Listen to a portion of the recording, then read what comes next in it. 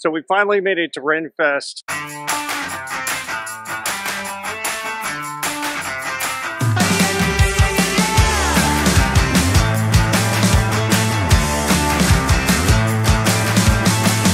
Get up on your feet, this is a shakedown.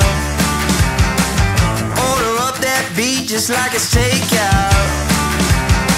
Show me you got soul inside those new shoes. Can rock and roll with an attitude. So good, so fresh, just the way. This is take two because last weekend when we came, it was pouring and cold. This one is like way better, perfect weather. Maybe a little bit warmer would be awesome, but um, you know what? Hey, this works out pretty well.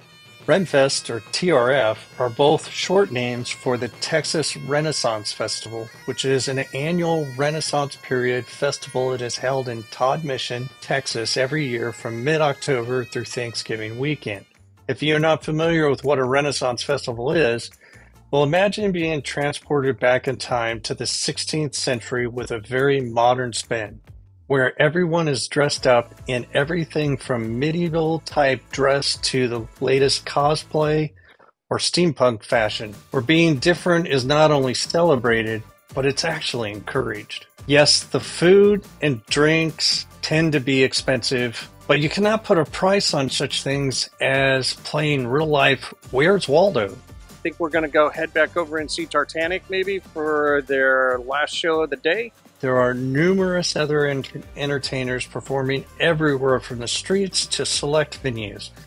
One of our favorites is Tartanic, a pipe and drum group that has been entertaining crowds at Renfest for 20 plus seasons. For sure, a large influence for why Marie and I had bagpipers performing at our wedding.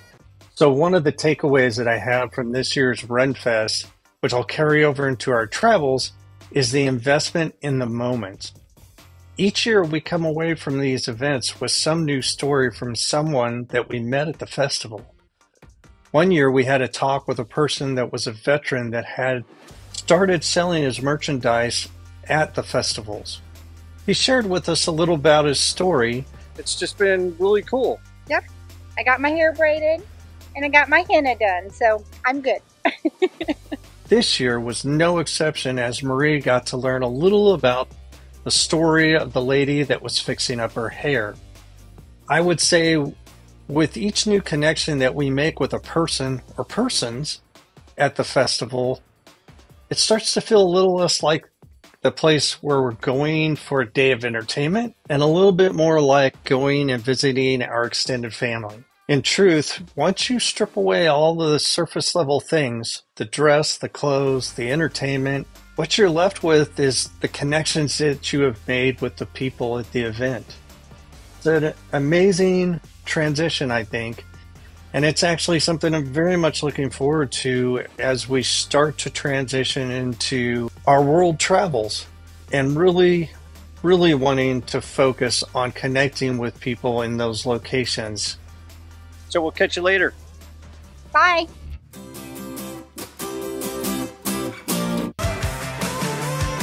So good, so fresh.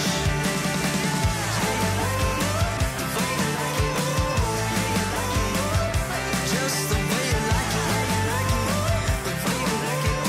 So good, so fresh. Get up on your feet, this is a shakedown.